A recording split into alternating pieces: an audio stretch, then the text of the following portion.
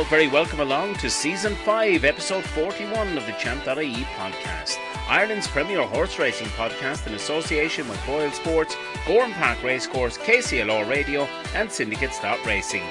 Coming up on this week's show, Barry speaks to special guest Jimmy Mangan about star chaser Spillane Tower, who is entered in the Novice Gold Cup at Fairyhouse on Sunday. The lads look ahead to five key races on Boyle Sports Irish Grand National Weekend, as well as giving their best bets and now. The final fence in the Boyle Sports Irish National, three Gigginstown, Band of Blood, Thunder and Roses and Katie Walsh have come storming up on the near side. What a lady rider she is! Katie Walsh and Thunder and Roses wins for Sandra Hughes. It's Ladies' Day at the Grand National. Thunder and Roses wins the Grand National. If you haven't already, be sure to like this video and subscribe to the Champ.ie YouTube channel as it helps to get horse racing content out there to the wider audience. We look forward to reading all your weekend hashtag 5cast selections in the comments below. Sit back, relax, and enjoy the show. Boyle Sports. Don't just bet, choose wisely. Oh, and you're all very welcome along to champ.ie after the uh, Cheltenham four days. It's Easter Racing Festival with the Boyle Sports Irish Grand National going to take centre stage. Champ.ie, we're on to episode 41, season 5, brought to you in association with uh, Boyle Sports, our betting partner, partner Gowran Park Racecourse, Syndicates.Racing, and KCLR 96 FM. Right, we are going to have a very special guest in Jimmy Mangan on later in the show. Looking forward to hearing uh, Jimmy's thoughts. Of course, we know all know the well-known Jimmy Mangan, and uh, well, he's got uh, some he's got some nice uh, runners this weekend, and we'll be hearing from him later with Barry in the show. Barry Doyle, as always, joins us, and uh, Brian O'Keeffe is back once again by popular demand uh, from Boyle Sports ahead of the Boyle Sports Irish Grand National. Barry's got to announce a couple of winners in a moment moment. We'll get to that in just a second. But Brian, it's always a great race. The Boyle Sports Irish Grand National. It's the feature on Easter Monday. Obviously, with all this rain that's falling and everything that's happening, it's uh, it's just causing huge havoc uh, to racing in in Ireland over the last seven days. Yeah, absolutely. The ground is currently heavy at Fairyhouse. I know Peter Roe tweeted this morning they're expecting more rain between now and the race. So it's going to be pretty attritional, I think. I know one of Barry's fancies probably wants a bit better ground as well, but we've got a proud association with the race. It's 10 years, our 10th year of sponsorship this year. So we're looking forward to seeing how it goes. And hopefully we'll have another incredible story, David. And Barry, you're going to tell us uh, about a couple of people that are going to get a couple of free tickets because if they're picking at uh, Cheltenham and they're going to be going along to the uh, Boyle Sports Irish Grand National on Easter Monday at Fairyhouse.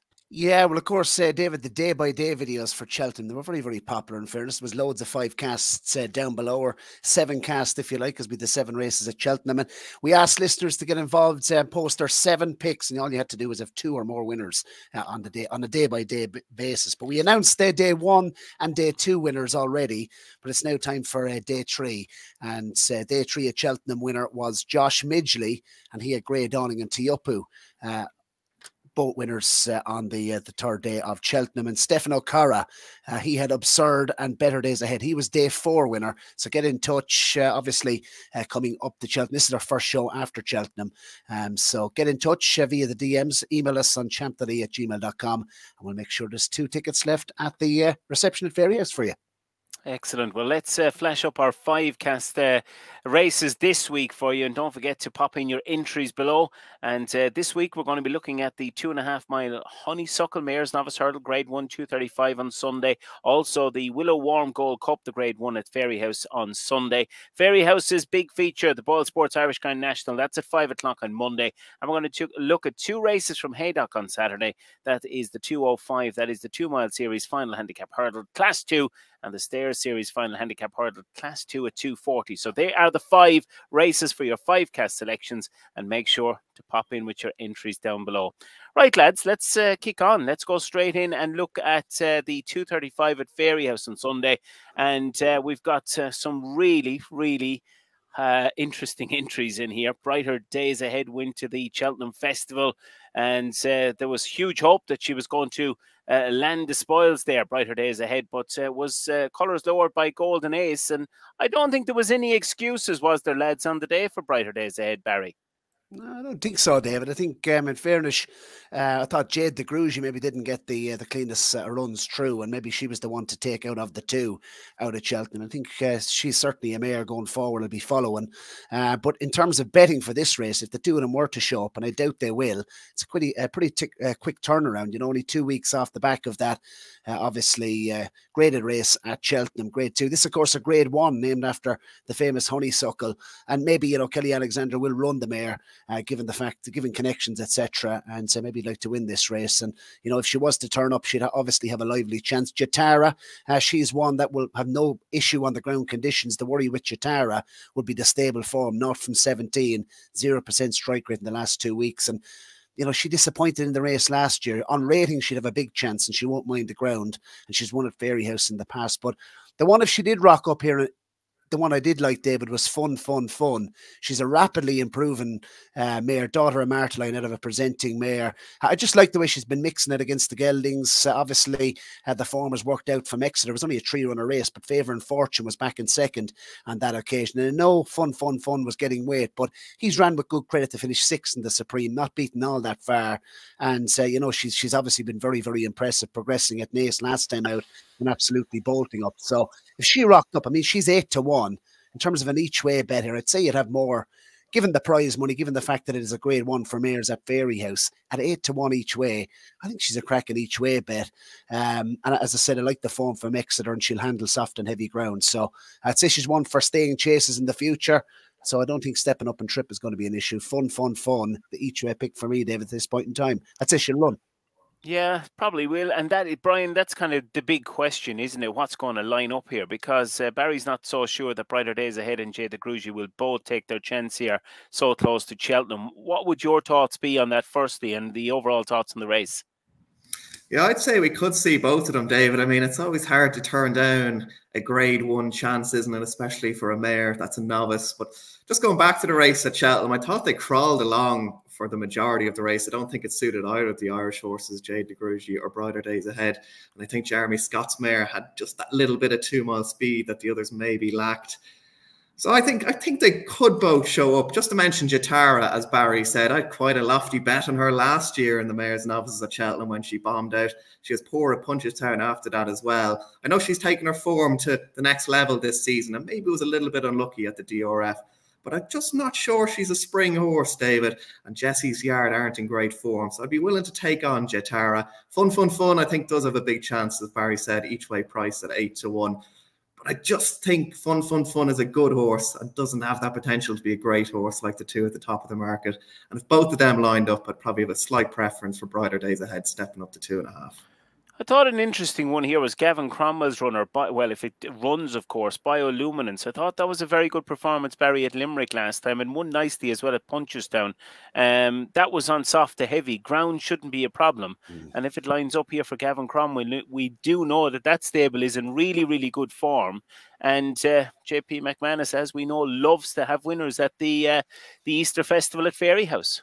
Yeah, she's a big strapping mare. And another mention for Gavin's other runner in the race, only by night, who I caught up with Gavin down in Gowran Park on the eve of the Cheltenham Festival for KCLR Radio. And he did mention, uh, David, uh, that, you know, only by night, this was the target. She was bypassing Cheltenham.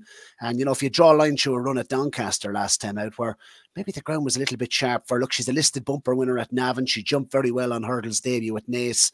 She's one maybe that you know, could be underestimated at our current price at about eight to one. And as you say, bioluminescence as well. It's going to be competitive, and for that reason, just just with the quick turnaround, David, just the 17 days, you know, just short or just over, should I say, two weeks uh, turnaround. You know, we've seen fancied ones getting beaten in this race in the past, and you know the ground is going to be testing, so there's going to be no prisoners here. So I take on you know the front two.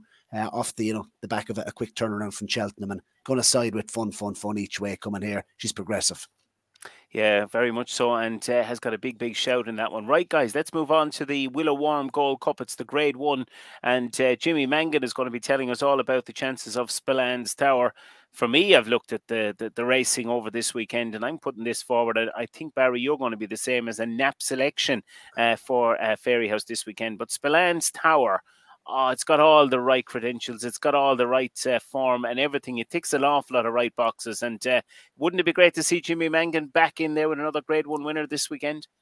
I can't remember who it was uh, down in the comments along the course of the year. I said Spillane Tower would win a Grade One this season, and this looks like an ideal opportunity. But someone in the comments down down below did not agree and was quite adamant that you know this wasn't a Grade One horse. I think it is, David, and I think going right-handed um, you know, it's two from two going right-handed over fences, uh, and I just I love the fact that you know the, his farm tied in now with, with, with Blood Destiny. So I think we have a handle on the two of these, and I think the better horse going forward is going to be Spillane's Tower. I think Blood Destiny had his own way in front last time over the two miles on heavy ground up at Navan. He's quite a good jumper, but not the strongest of finishers. Where it's you know uh, Spillane's Tower is a very, very good jumper, but you just know he's going to be coming home like a train. And I think stepping up and trip a race like this at Fairyhouse, you know, obviously they're racing off levels here. This is a, this is a grade one. It looks an ideal opportunity for Jimmy Mangan. Um, as I say, off the back of the last, you wouldn't want if you're on Blood Destiny, Spillane's Tower running running you down. And I, I just think uh, there's a lot in his favour. He's proven on heavy ground, and as I say, going right-handed, I think uh, could see Spillane's Tower win a grade one at Fairyhouse. Yeah, I think it's got an, an absolutely superb chance this weekend. Brian, what would you like in the race? Would you be in Spillane, Spillane's Tower Camper? Would you be uh, siding with the Willie Mullins train runner Blood Destiny, who lowered the colours last time, of course, of Spillane's Tower? I have to say, Spillane's Tower for me, I'd probably be a little disappointed if he won a grade one, albeit it is a, it is a very weak one. If he is going to win one, I think this one will be it. But it's another race, isn't it, that revolves around these Cheltenham horses and who's going to show up. Will we see it Il Etait Temps? Will we see Found a 50? I can see Found a 50 improving for a step up and trip. But the one I like, another runner at Cheltenham, will he show up here? It's Zanahiyr. I know you're probably all laughing, but I can give Zanahiyr a good chance here. I think he was very, very good over hurdles, a lot better than these. He's got that strong form over hurdles. I thought he ran a cracker in the turners at Cheltenham. And if he rocked up here, I think he could be a little overpriced. Willie Mullins has been talking up tactical move quite a bit lately as well, but I'm just not sure I like that horse's attitude. Tends to swish his tail rather. So for me, Zanahiyr at a price. Who will come out on top between Spillane's and Blood Destiny? It's again up in the air. Over two and a half, I'd probably have a slight preference for Spillane's Tower. I think Blood Destiny's probably a ball of speed, and again, he could be found out over the longer trip. But for me, yeah. here nine to one each way. Yeah, nice, nice each way shout there. But uh, for me, definitely Spillane's Tower here. He's got to be the the horse that look. This is you know as grade ones go this is an opportunity for him. So that's the way we see that uh, Gold Cup, the grade one at 455. Right, guys, we're moving on to the feature. It is, of course, the Boyle Sports Irish Grand National over three miles and five furlongs. Fairyhouse, five o'clock on Monday. Brian, I'm going to come to you first. Um, Asray sponsors Boyle Sports. Where, um, or if any, have we seen money going um, in the anti post market ahead of the National on Monday? Yeah, we've had a couple of big movers here, David. Nick Rockett originally opened up at eight to one when the weights were released. He's half that price now at four to one. But the biggest mover of all is the old boy, Any Second Now. He was as big as 40 to one anti post and is into 12 to one. Is it JP's money? I guess we'll find out on Monday, but he's the big, big mover, Any Second Now. Yeah, any second now is the interesting gamble. Ted Walsh's runner, of course, he's got plenty of experience coming into the race. Um, coming into this one, guys, this is um, firstly, we could probably potentially have the smallest uh, field in a national in years. Uh, the way things are going, but we're going to have to wait for the final declarations and everything to come true here. Uh, Barry, um, a rightful favourite in this uh, Nick Rockett. I know I was speaking off air before the show. Um, you have your observation. You have kind of slight concerns about this favourite. Well, he's been laid out for the race, and obviously novices have a really decent record in the race, David. You know, seven years of age. I think uh, was it five of the last nine winners have been age seven, and you know novice second season novices have a good record. Willie Mullins, how can you knock? You know his training performance at Cheltenham stable and rude health coming in here, and uh, yeah, look, it's ten stone thirteen as the weights are at the moment. He'd have to have a chance, but look, he's by Walk In The Park and just stepping up and trip now to uh, three miles, uh, five furlongs on this type of ground. Look, he's gone on heavy ground in the past. He's good form over the course. Obviously, won last Easter uh, over hurdles, and you know off his current mark of 146, he's obvious claims. But at that sort of price now, if you're not on a bigger prices, I'd be inclined to leave him now. And I'd say Paul Townend will probably ride him. Look, Willie Mullins has made no secret about this horse, and um, you know the fact that they've skipped Cheltenham, and you know this has been his target. So He's obvious claims at that price and leave him. I'd be looking for one maybe at a bigger price each way. it's just interesting, David, went on the, uh, of course, uh, the Boyle Sports Irish Grand National launch um, earlier on, just a couple of weeks ago. And uh, Sandy Shaw, the Irish uh, handicapper, did mention intense raffles. Uh, you know, this horse is the one horse in the race he, he can't make head nor tail of. Uh, the fact that, you know, he's rated 140, he said he could have given him 130 or 150. He's just no idea how good this horse is. And he could be absolutely thrown in. He's gone on the ground. He's won at Fairyhouse, and he's been, you know, connections seem to be fairly bullish. Of those two, I probably would just about side with intense raffles, just given the fact that you have the unknown factor. You know, he could be he could be absolutely thrown in here, uh, carrying that sort of weight. Hard or dark, look, he's nine to one in the betting for Gavin Cromwell. He said he'd stamina concerns last time out, uh, going into the Leinster National. So you know, stepping up in trip might that might the trip just find him out. And Desertmore House is the one I would have liked for this race if the ground had to come up a little bit nicer. I think we're going to have you know really testing uh, conditions. And we when we had Martin Brassil on the podcast a couple of weeks ago, leading up to Cheltenham, he did say he's left in the Aintree national, and you know if the ground comes up very very heavy, they'll have to consider that. So um, look, I think he's a really nice profile for the race. He's a novice. He's, but yet he's had six runs over fences. He won the Kerry National. He'll stay all day. Um, I just would be maybe concerned about you know the ground for him. Any second now, I have to say, Brian, I'd be disappointed if a 12 year old was to win a race like this. Um, you know, he had his chance a couple of seasons ago. But the one I come back to is again, is seven years of age, uh, has a nice profile for the race. Uh, I like Senior Chief. You know, he jumps quite well for a novice. And you know, he went off two to nine at Punchestown. He was entitled to win last time. But I have to say, I like I liked what he done from the back of the last to the line. He really picked up. He's he's a stout stayer. Um, he hit a, a, flat spot over two miles seven last time at Punchestown, but you know he's two from two on heavy ground. Uh, thought he done it nicely. Showed a good attitude last time out, and so he'd be the one I just about side with. You know he's a good jumper. If he can get into a rhythm, we know Henry has such a good record in these big stay and handicap chases. Um, and you know if you look back at his run and penultimate run, he's only beaten two lengths by Minella Cocooner. Um, that was off levels in the beginners. He's getting seven pounds off him, and you know some people are giving him a lively each way chance. Uh, I think the ground is you know going to be a big big factor, and you know with Rachel Blackmore on board, Henry's only a runner in the race. I thought at twelve to one he could be overpriced. So each way for me, senior chief, I think he ticks plenty of boxes for a race like this and could be unexposed off one four one. A horse at a massive price, Brian, and this is Dunboyne. He was favoured for the uh, Goffs Thyestes down in Gowran Park. He was pulled up in that race. He was since pulled up, but obviously confidence after finishing fourth in in in, in Navan in the Troytown uh, back in November. He's a big, big price at 33 to 1. People will be looking for a bit of value, won't they, with the each way terms, particularly in which Boyle Sports have for the uh, big one on Monday. Yeah, we'll be going six places from Saturday morning. Dunboyne is an interesting one. He's obviously a horse with plenty of talent, but I'm just wondering is there is there an issue there, whether it's breathing or something else? He always travels into the race, and as he said, he often struggles to finish off.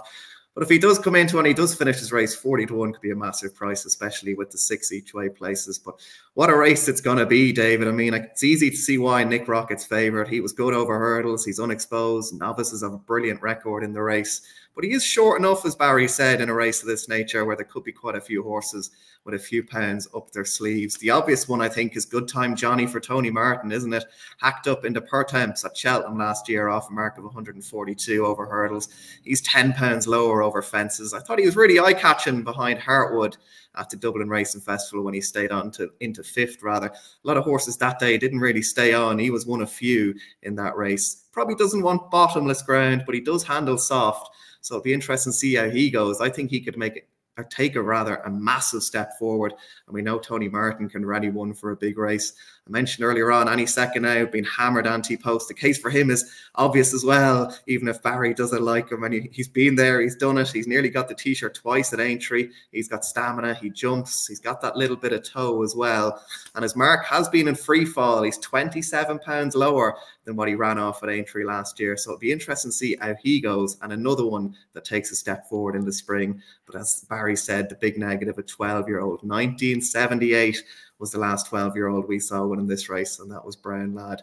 And a final one to mention, I feel like I'm going through half the field. Intense raffles, as Barry said again, the real unknown here. Sandy Shaw said he found this horse really, really difficult to handicap coming from France. He's bolted up twice in Fairyhouse since he came to Ireland. Is he chucked off in a oh, chucked in rather off for 140?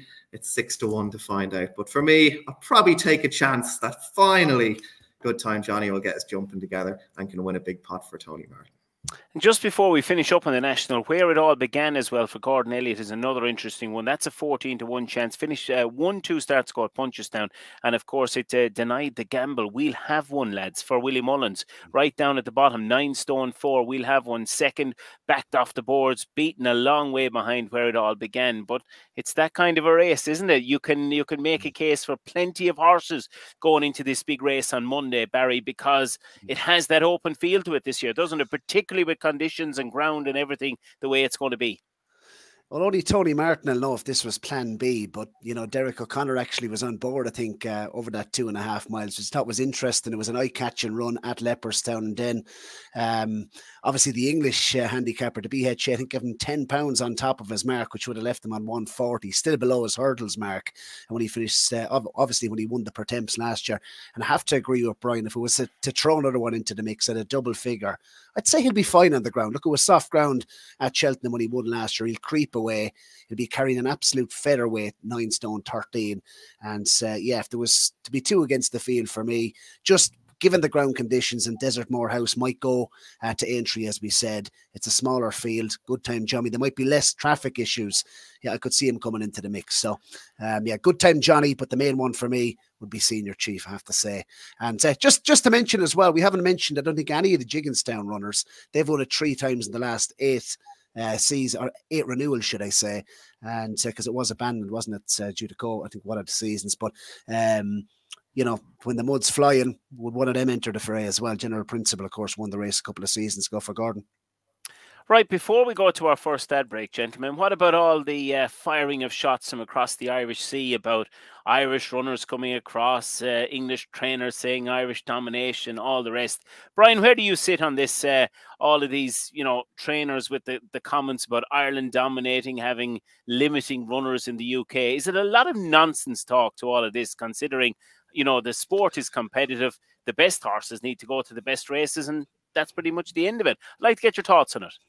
Yeah, Dr. Richard Newland has really dug himself a hole, hasn't he? I mean, it's what it's all about. These best horses clashing against each other from both sides of the Sea. They say this kind of thing is cyclical, isn't it?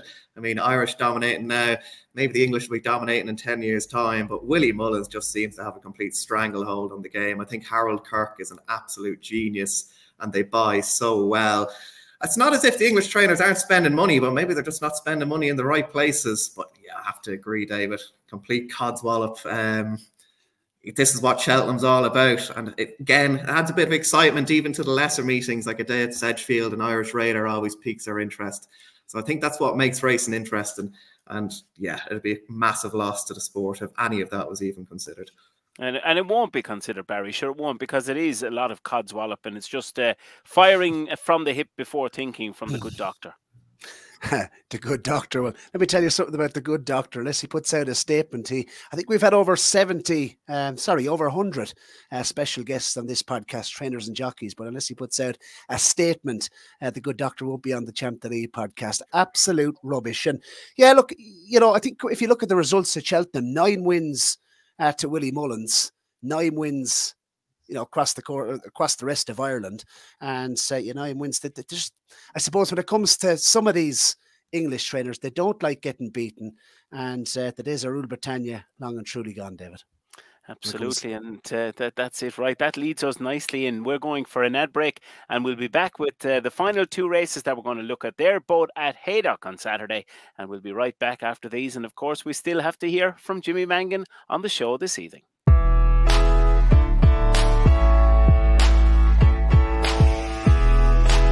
Granger and Patrick Mullins. But McGree has justified favouritism, but sharp object out in front, we're ready for John McConnell and Alec Harvey. Western victory, Silver order.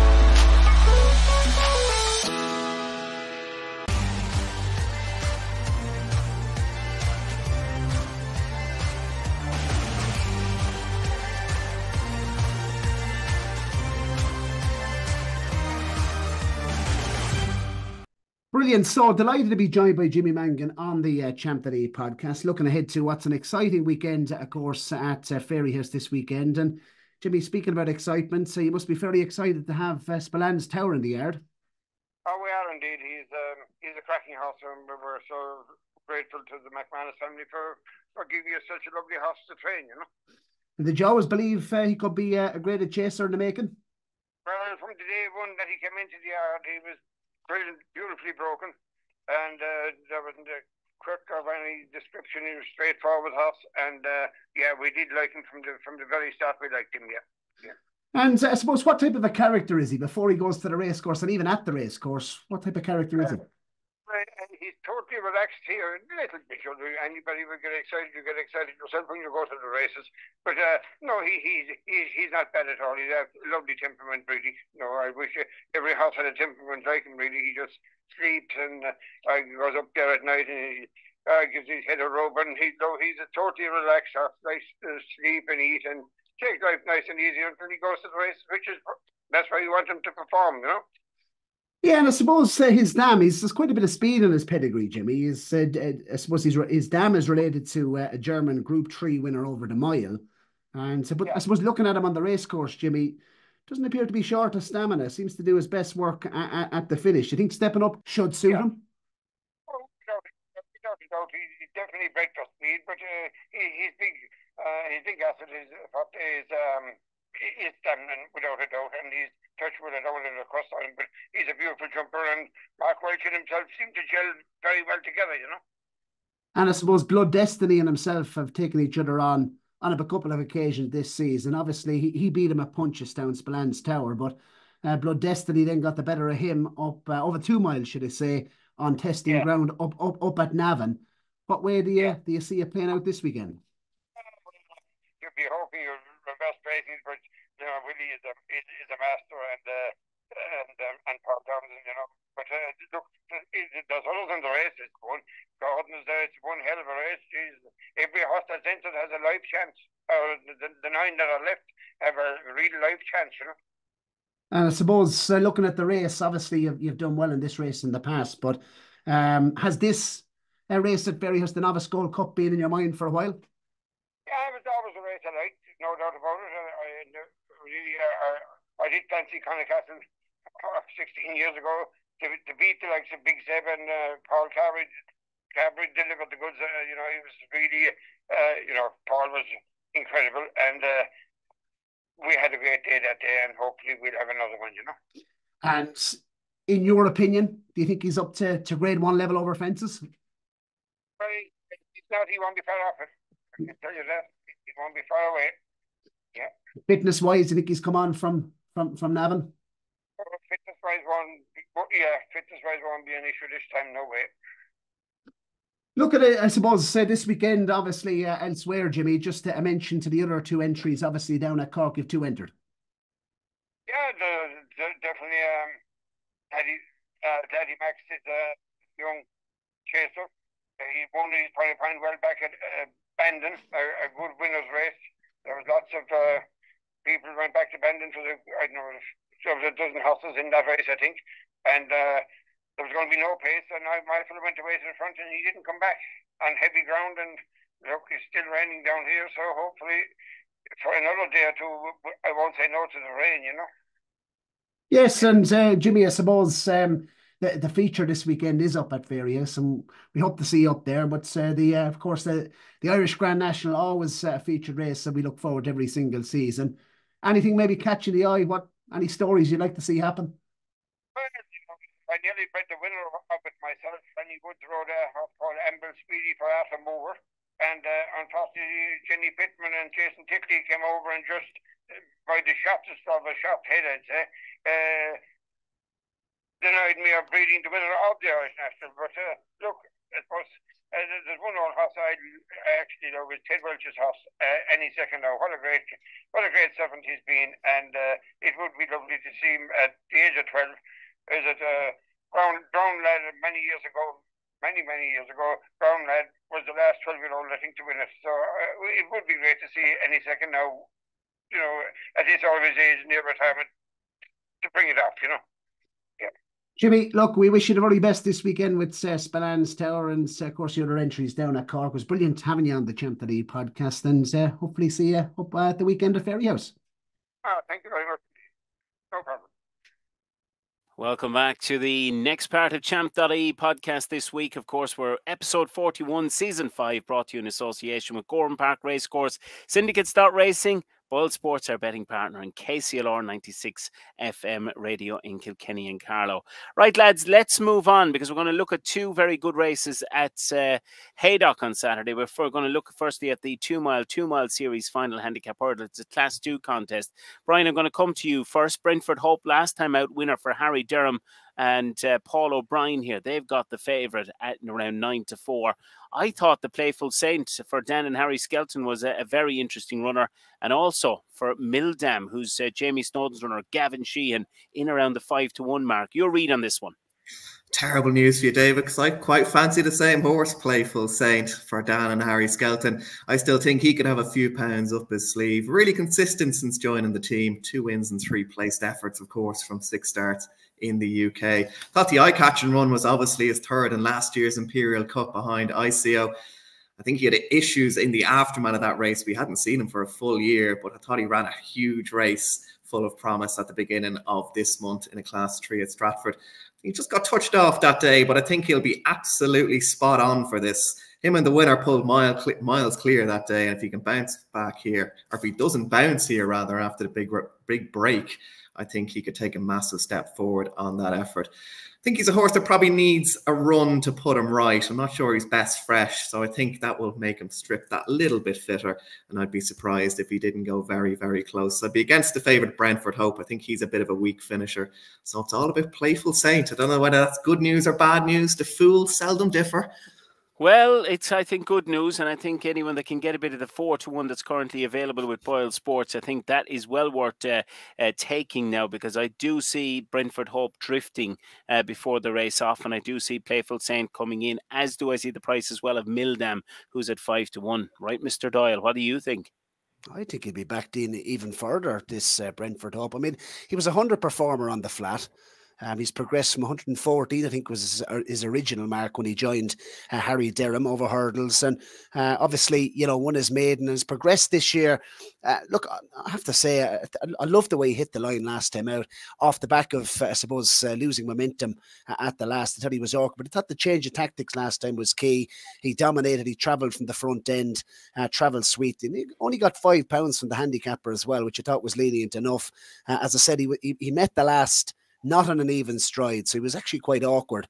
And I thought he pulled out plenty. And I have to disagree with Brian. I thought he really showed a good attitude and uh, ran all the way to the line at Newcastle last time out. I think he is improving. I think there's still more room for improvement. Look, he's he's to carry a big weight here. You know, 12 stone at the moment, you know, on on, on testing ground at Haydock, but he's proven himself on soft ground. I think he's going in the right direction. I think Harry Harry Derham as well.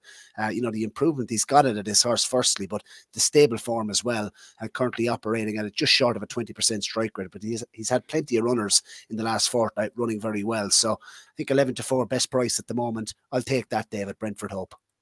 All right, that's uh, it's all about opinions, and uh, that's what makes this great this uh, game so great. Right, our final race that we're going to look forward to is a three mile stayers' series final handicap hurdle at Haydock on Saturday. Barry, what do we like in this one? Yeah, got to go a juicier price for this, David, and uh, the one I like is 10 years of age, but it's only had seven starts on the race course in his career. Incredible stuff.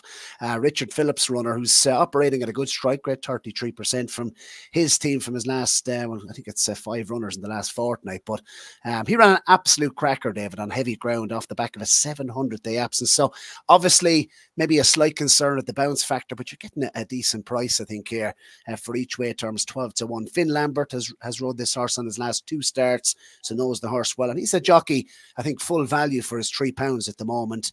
Um, the form particularly looks strong uh, from uh, from Warwick, should I say, on its last run, uh, where the obviously he finished fourth, uh, Picana, and uh, first and second on that occasion were Emitom and of course Quintara, who went on to both place uh, in the uh, the Pertemps uh, final at the Cheltenham Festival. So I think that form looks uh, quite strong. He's uh, I suppose, remained on 1 2 2. So I think he can be competitive off that mark. And he's proven over three miles plus on, on uh, testing ground. So um, just looking at the weather forecast for Haydock, it's currently a soft ground. We are due quite a bit of rain on Friday as we're recording. And I think it's meant to be relatively dry. Uh, on uh, Saturday, right? So right up until racing, so the ground might just dry out, out enough to be, you know, soft ground, which he has proven form. As I mentioned, uh, 10 years of age. He's no spring chicken, David, but as I said, he's only had the seven runs. So obviously, he's had his problems, but I liked this run last time. I thought he travelled well, uh, off the comes from off the pace as well, and he's obviously a proven stayer. So off one, two, two, I'll take my chances 12 to 1 each way uh, on this uh, Picana for the Richard Phillips uh, stable. Number nine. Brian, what do you think? Astronomic View, top of the market around 4 to 1 with Shoe Shine by, and gosh, how posh next in the betting at 13 to 2 chance. Yeah, I have to say I like the fab here for Sue Gardner. I think it's a race full of horses that can throw in a bit of a clanger, and I've been quite impressed with this astronomic view. Uh, yeah, really consistent profile. He hasn't been out of the first three in his last six starts. He has got some really strong form as well tied in there with four of the six horses coming out of the race at Exeter and winning since from November. And the Ascot race in February, four horses came out of that since and won as well. Really impressive, I thought, at Warwick last time out, David, when he bolted up off a mark of 115. That was over three and a quarter miles. No problem with the stamina, no problem with the ground. And I'm not sure an eight pound rise is going to stop this horse tomorrow or on Saturday, yeah. rather. Yeah, you're right. I think it's got a very, very good chance. Barry, ask you about uh, the chances of secret tricks here in the race for um, Olly Murphy's yard. I thought that might uh, be an each way option here uh, in around the 8 to 1 mark for this race. Yeah, tongue strap and cheek pieces on for the first time. I don't think stamina is going to be an issue. Secret tricks is obviously proven, and uh, Brian mentioned said the consistency of astronomic view, and I'd agree with that. Always runs a fine race and will have no issue on the uh, the ground. That'd be maybe my slight concern uh, with Olly Murphy's charge here. Has uh, some decent form on good ground, and obviously it's going to be testing. And Haydock testing is different probably to, to testing anywhere else, uh, certainly in the UK. So that would be an issue. Gosh, how posh! Look, that's blinkered for the first time. Would have, would give that a live chance if it crept in uh, to the uh, Pertemps at uh, Cheltenham, but needed to win, didn't it, uh, last time to, to to ensure its place in the lineup, and was pulled, you know, was pulled up. I thought it was very disappointing last time. It could be unexposed still after having just the uh, the seven runs, but I don't think Philip Hobbs or uh, Johnson White. Just reading the uh, the comments afterwards, they had no genuine excuse for for that performance last time, and I think the ground as well. Its best form is on nicer ground. Gosh, how posh! Uh, shoe shine boy for Donald Williams and Craig Nichol. That's obviously on a hat trick bid. And uh, Donor Bay for Emma Lavelle. Didn't like the way that finished its race last time out, swishing his tail as well. Maybe attitude concerns with him. And if there was to be another one each way, his form tied in with Astronomic View, actually finished in front of him earlier on in the season, was the six year old. I'm not even going to try pronounce it, but it's number five on the race card for Venetia Williams and uh, Charlie Deutsch. Stable now starting to catch fire once again. They love it when the mud is flying, and you know, six winners in the last two weeks. Uh, I think you can mark up uh, the uh, number five on the race card for Venetia Williams. Look, it's 10 to 1. But I just think I'm intrigued by this Picana for Richard Phillips. Smaller stable, obviously. Um, but, you know, coming in into a race like this off 1 2 2, you know, nicely weighted, stays the trip. Ground not going to be an issue. And uh, yeah, I like the form, the overall form, as I mentioned, with Emitom uh, finishing first at uh, Warwick last time out, and second on that occasion uh, was a Kintara, and both went on to place in the Pertemps final at Cheltenham. So I think that's solid for. Right, for you listening, don't forget to to put in your five cast selections. They are the five races once again uh, for you to put your five cast selections in the comment section below. Right, lads, we're going to come to you. We're going to get our just best bets of the weekend, and then we're going to take an ad break, and we'll be back with our nap selections. But going to come to you firstly, Brian. Just best bet firstly for the weekend. What you like, best bets, and uh, as I said, we'll get your nap right after the break. Yeah, one I mentioned earlier, the one you like as well, David, Playful Saint on Saturday at Haydock. I think he takes plenty of boxes. He'll be primed for the race and he could take plenty of beating.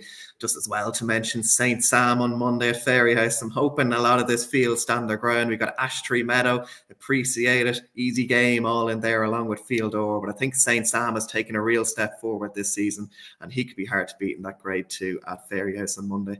So they're my two.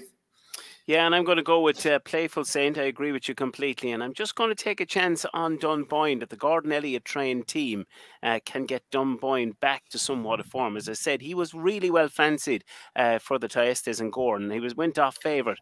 If he can bounce back, he could be a massive each way play. And with those six places on offer from Boylesports for the National, might not be the worst each way play in the world. Let's see how that goes on Monday. And for you, Barry, your best bets? Yeah, I got to go with fun, fun, fun. That's eight to one each way for the uh, the mares, the honeysuckle mares. I think, look, I think she's a decent price at that. Back in against their own sex, the form is working out with you know favor and fortune running well in the Supreme from Exeter, and uh, I thought at eight to one she was worth a, a go each way. And would you probably have a couple of darts in here? Senior Chief uh, 11 to 1 for the uh, the Boylesports Irish Grand National. I have to mention him. I think he's a good price there uh, at 11 to 1. And Another one to mention in the uh, in the novice handicap over two and a half miles at Fairyhouse, 2 o'clock on Sunday is uh, John Kiely's runner, Joyo uh, Vivo. I thought caught the eye, caught certainly caught my eye last time out at Punchestown. And off its uh, current mark, look, it's uh, reasonably lightly raced. Uh, this uh, Joyo Vivo, uh, son of Kapgarde, I think the ground will be perfect for it. Off 111, I think he could be on a nice mark, having just its second run in the handicap in the McManus. So, so Joyo Vivo uh, for the master, John Kiely, has uh, Brian Gleeson would say on RT, uh, the master John Kiely in that at two o'clock on Sunday at uh, Fairyhouse. So that's one I think. Uh, look, obviously we don't have prices for that race, and I will give one last mention, David, before we come to Naps in just a moment uh, to Lieutenant Mayen in the Mac- McNeil Silks. It's uh, entered up in the bumper at Fairyhouse, the very last uh, race in the Easter Festival.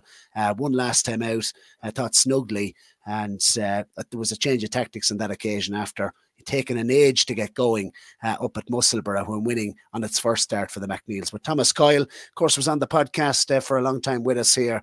Obviously, had this horse in pre-training, and uh, you know, quite a nice horse. I think runs in the bumper uh, on Monday at Fairyhouse. Right, we're going to head into our final ad break before giving you our nap picks of the weekend.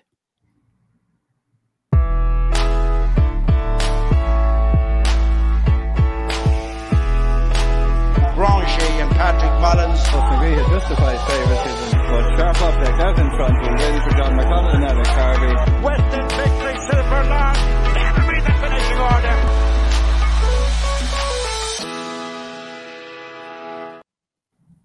Yes, uh, so it is on to Nap's uh, pick for the weekend. Firstly, Barry, going to give you first dibs on your nap for this weekend.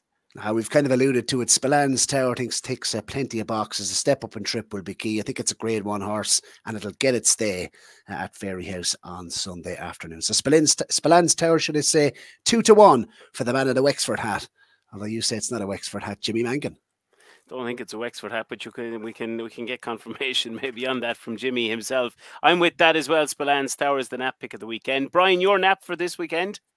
I know it's a big weekend of racing over the jumps, lads, but the all weather has been calling my name. The 240 at Lingers on Good Friday, the all weather Vase Mile.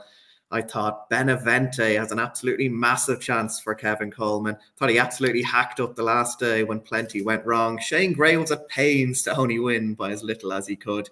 But the handicapper, he's been astute and put him up eight pounds. I just thought he broke poorly that day. He was drawn in the car park. He was keen. It all went wrong and he still bolted up. Doesn't have an ideal draw on Friday either.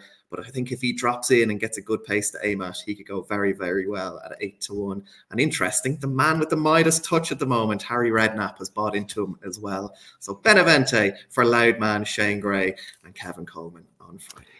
Well, perfect, lads. Well, we hope you, the listeners out there, if you're going along to Fairyhouse at the weekend, we hope you have a brilliant weekend. Don't forget, once again, the five races that you can put your selections in for the five caster now have flashed up on screens and have a really good weekend. Hopefully, you get a few quid this weekend. And a big thank you once again to our sponsors, uh, Gowran Park Racecourse, Syndicate Start Racing, Boylesports, our betting partner, and KCLR Radio 96 FM. Big thank you to Brian and to Barry for their contribution, and to our special guest, Jimmy Mangan. We hope you've enjoyed the interview with him on the show this evening. Until next time, it's a very goodbye from the Champ.ie team.